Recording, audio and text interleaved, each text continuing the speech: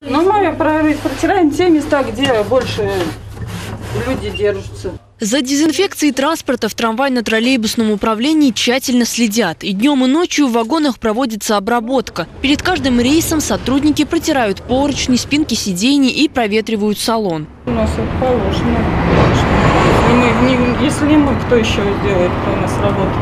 Пассажиропоток в транспорте значительно уменьшился. Как рассказывают сотрудники, сейчас билетов продают в 4 раза меньше. В две смены ежедневно в ТТУ трудится порядка 600 водителей и 700 кондукторов. Все они полностью укомплектованы средствами индивидуальной защиты. Ранее только муниципальное предприятие ТТУ закупило свыше 5000 одноразовых и многоразовых масок. Ожидается еще одна партия в количестве более 3000 штук. Также распределили почти 11 тысяч пар перчаток. За использованием всего этого во время рейсов усилен контроль, прежде всего по руководством предприятий общественного транспорта. Сотрудникам, забывшим надеть маску, грозит штраф до 30 тысяч рублей.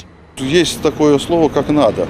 Значит, э, положено одевать средства индивидуальной защиты в такие вот э, времена, поэтому люди у нас относятся к этому с пониманием и, э, соответственно, исполняют все эти предписания. Очень просим наших любимых пассажиров также соблюдать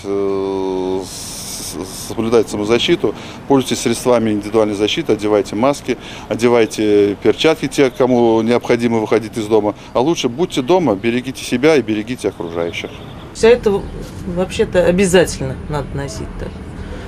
Для своей же безопасности, для своего здоровья, также для, для того, чтобы не было распространения болезней. Чтобы не заразить людей, не заразиться самой.